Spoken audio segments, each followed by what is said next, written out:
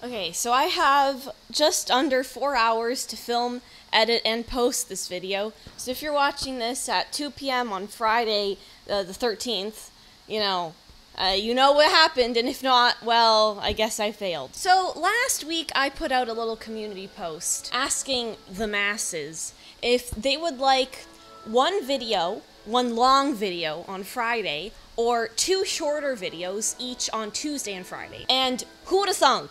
Controversy bloomed. The people spoke, you know, division ensued, and disagreement blossomed. Like, look at this. Look, there's only 9%, 9% separating the two. What am I supposed to do with this? Like, it's too close to call, I'm gonna contest the election. Anyway, honestly, the real winner in this entire situation is everybody who said, don't worry, boo. Just upload whenever you want to, you know. Don't stress yourself out. We'll watch anything you post. It doesn't matter. Just have fun. And like, listen, you know, that's very sweet of all of you, but what am I supposed to do with that information? That's like giving your student an assignment and just never giving them a due date. You know, I need that kind of like restriction in my life. But nevertheless, I'm here to give you, the people, what they want. Look at what you've done. Look at the runtime on this video. This is all your fault. I blame you. You can watch this 20 minute odyssey however you want to. You can split it up into five minute bite sized chunks or, you know, just consume it in one big 20 minute gulp. I don't know. You could play it backwards, watch it that way, flip it upside down, slow it down, send it to the FBI. It's up to you.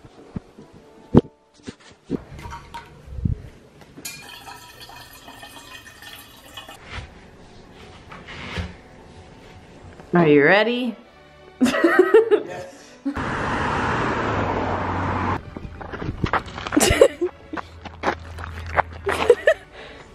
So, I think it's no secret that I really want to move out. I'm 20 years old, you know. I think it's due time that I have my own place. Like, I need my own space. I've outgrown this house.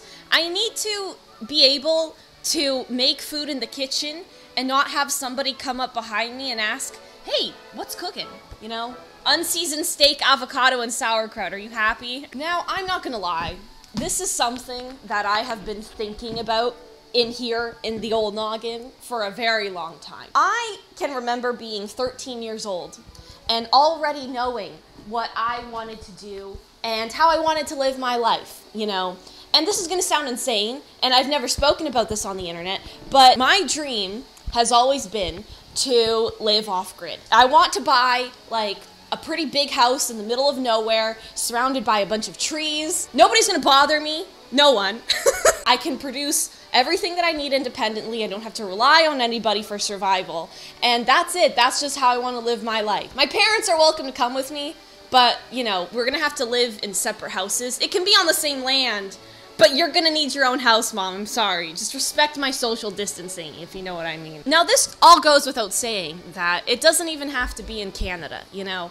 Like, it could be any other country. I'm willing to leave Canada and set up my compound somewhere else, provided, you know, that they meet my list of demands.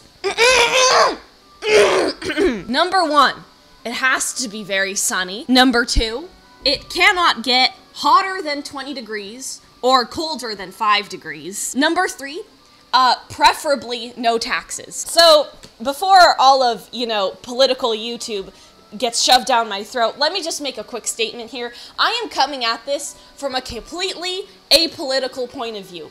I say this with all the hate in the world. I hate doing my taxes. Every year, when my father comes up to me and tells me, Joana, it's time for you to file your taxes, I just, I collapse. You know, like this year I cried. Taxes for me, ta- okay, the word taxes just like sends my heart rate through the roof. It triggers my fight or flight. Every single year, you know, when it's around June, I spend one week looking through pages and pages of bank statements.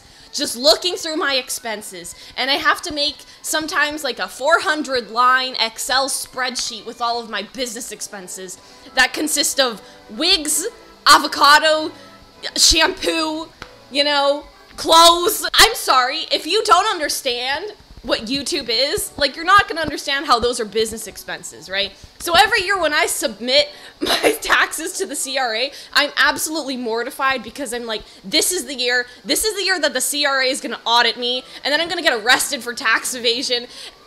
It's just a spiral. I don't sleep during tax week. I don't. I really don't. I just spend hours and hours filing through a bunch of documents that I don't care about, like a madman. So anyways, that was my tax rant, you know. Hopefully I don't get canceled. The last item on this list, I mean, I probably shouldn't say this because it is a little bit ridiculous, but honestly, it kind of has to be said. Uh, my location cannot in any single way impede Aritzia from delivering their packages to me.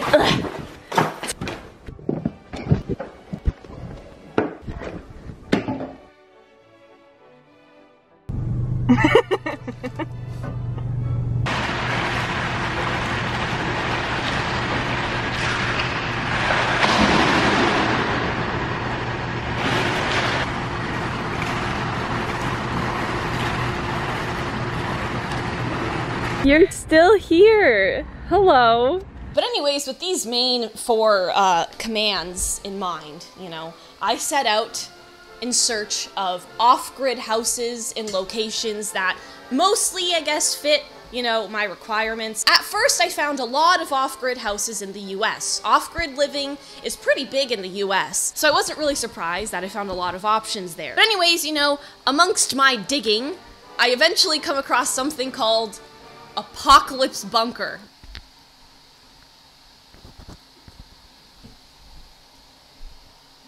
If that doesn't have my name written all over it, I don't know what does. This is amazing. I could live in a hole for the rest of eternity, and nobody would even know that I'm there. Needless to say, I went through a little bit of an underground bunker phase, but ultimately, you know, what ended up curbing my enthusiasm was just the fact that, listen, I need sunlight, you know? And if it's not for my mood, I need sunlight for my skin.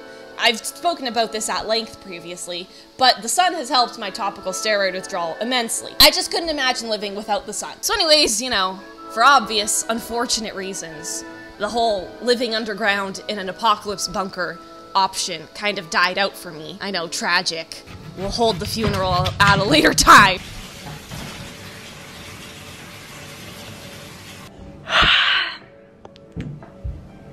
Hi. It's almost 3 p.m.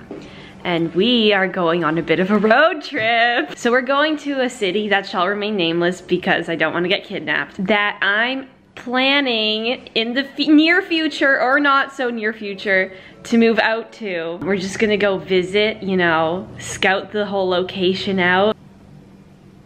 Okay, let's go.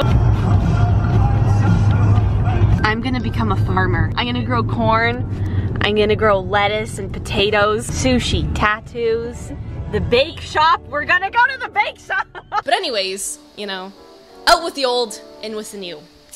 I was browsing the internet one day and I found a listing for an old castle in England. in comes my, how do we say it? Um, obsession with living in old castles era. So I went through a good three or four month period where I was seriously considering the possibility of living in an old 15th century castle in either England, Spain, or France. I didn't know there was such a big market for this online, you know?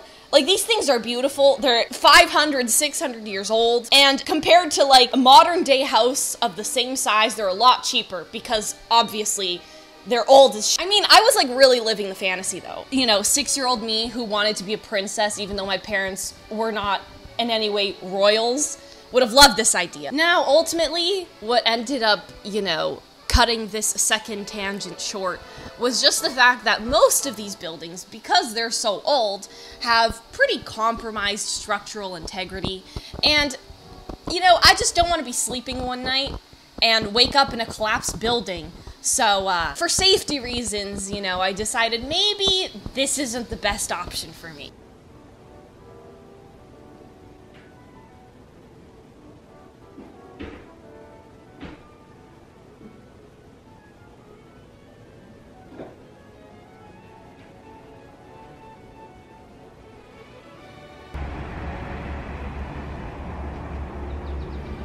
I'm really struggling this morning. I know this like garbage camera just like can't pick it up, but the sky this morning looks like it's on fire. We're going for a swim today. Yeah, we're going for a swim. Okay, uh, see you guys later, I guess.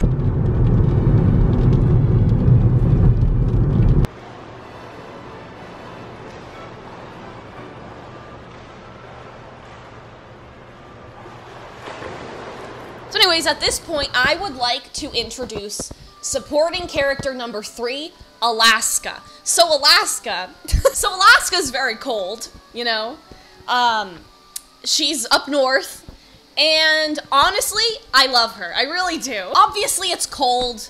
There's very little sunshine, so two out of four of my commands are pretty much gone with the wind. But you know, like the scenery is beautiful. Off-grid living is really big there. Massive acreage. So, you know, honestly, it's a little bit of a contender, if I might say so myself. If there was an off-grid castle, you know, that had an off-grid bunker and was located in Alaska, I would 100% drop everything and move there tomorrow. Like I'm putting in the offer today. Now, again, you know, as all of my obsessions do, they come to an end.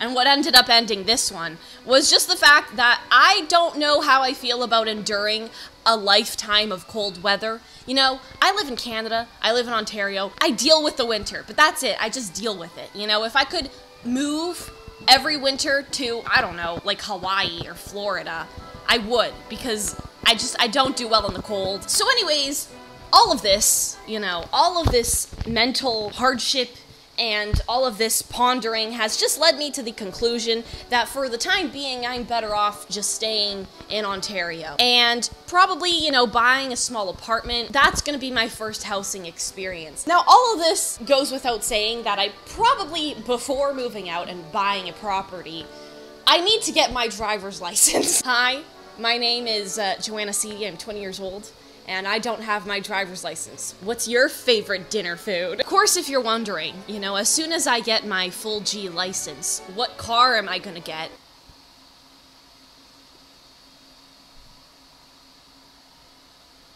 I don't think I have to explain that. The real tragedy of this whole situation is that the Cybertruck doesn't start being produced until the beginning of 2022. So, you know, I've got a lot of sitting and waiting to do. But, you know, if any if by any miracle Elon Musk is watching this, please, please could you just maybe, you know, perhaps speed it up just a little bit because I'm really waiting for my big bad Cybertruck and I would really be happy to have it. So, I'll pay you double. I'll pay you triple. Maybe not. Okay. but yeah, that's, I think, as far as I'm going to delve into this topic for now. I'll keep you guys posted, but that's all I have to say.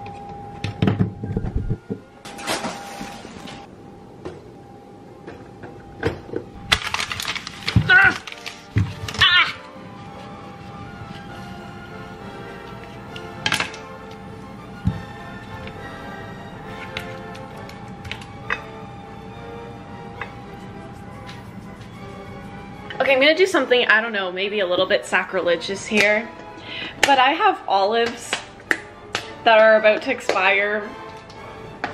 And I think I'm gonna put it on my avocado toast. I mean, hey, life is all about trying new things, right? Maybe, maybe this will taste disgusting. Maybe I'll ruin my avocado toast, but at least then I'll know that olives on avocado toast, not a good thing. Not at all. Never have been and never will be. Oh my god, this looks disgusting. what have we done? I, um, uh, okay, I guess. I don't know. What do you want me to say? It's olives on avocado toast.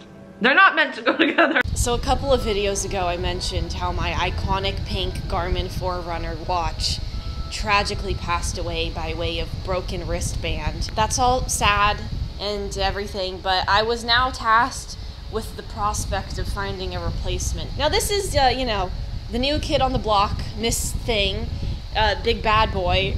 this is the watch my dad has.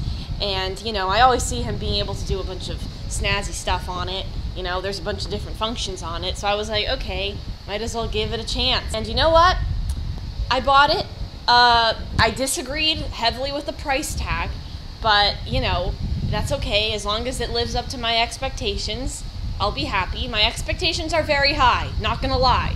You know, at, with that price tag, it better wash my dishes, solve all my problems, and give me perfect skin.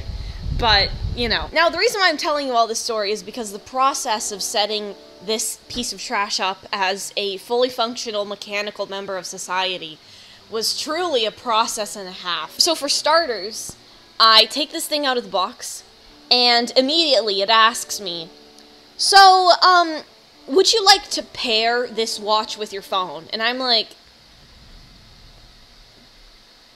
What? So I grab my phone, and well, it's not here. I don't care, honestly. But uh, let me just say this I hate my phone. A couple of years ago, two, actually, if I'm being specific, um, I mentioned how I absolutely hate my phone. It's a waste of money and it's a distraction. So why are you here? Literally, the door is there, just leave. But, anyways, I got rid of my phone about two years ago, and life was good, life was great. But then, you know, a certain someone uh, wanted to, you know, be able to know where I was at all times and be able to contact me at all times. So, you know, I had to cave and unfortunately buy a phone again.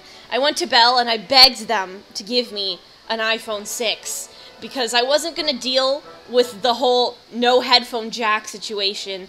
I don't like the Virgin iPhone 7. I want the Chad iPhone 6 with the headphone jack. Now, again, why am I saying this? Well, because I have an iPhone 6, that means that, well, Apple just kind of stopped producing iOS updates for it. But, anyways, going back to the story of my watch, to be able to pair my watch with my phone, I had to download an app on my phone that required my phone to have iOS 10 or later. Now, because, as aforementioned, I have an iPhone 6, you cannot get iOS 10 on the iPhone 6. So guess what? I have a dysfunctional phone, I have a dysfunctional watch, and I'm also a victim of Apple's skeevy business practices. But anyways, after uh, lots of uh, stressing out, I ended up being able to pair my watch with my iPad. So, you know, I'm just going to be carrying around my iPad at all times. what does that even mean, pairing your watch with something? Is it like giving it a best friend? Like pairing? I'm sorry, I'm gonna sound like a million years old, but technology these days, like, anyways. But other than that, you know, the watch is pretty good. There's a bunch of functions that my other one didn't have, and um, it's pretty sophisticated, not gonna lie. The only complaint I have is that if I didn't sleep well, it tells me, hey, you didn't sleep well. Okay, listen, it's me, I slept in my body, I know. You don't need to tell me that, okay? Like, why do you need to know that information? You're invading my privacy. But yeah, everybody, um, so that's it. I, I'm going through a little bit of a flare-up right now. I don't know if you can see. So I'm sorry this video isn't up to par, I guess you could say. Let me explain what happened. So recently we've been having a bit of a heat wave, and I kind of forgot that sweat is a pretty big aggravator of topical steroid withdrawal. You know, the two things do not mix. It's like oil and water. But, you know, me and my delusion, I thought, oh, I'll go out for a run in 30 degree weather, so I did, and I absolutely tore through my skin. Like, I was just scratching, I destroyed everything. So I'm kind of healing from that at the moment. This is very much the process of healing from topical steroid withdrawal. You know, it's not a linear track, uh, it goes like this. The lows are never as low as the highs are high, though. So that's great. But yeah, that's all I have to say. Thank you guys for watching. Next week's video is kind of a doozy. I've been working on it for a while now, so hopefully it gets out on time. But uh, yeah, thank you for watching. I love you so much, and I'll see you in the next one. Toodles.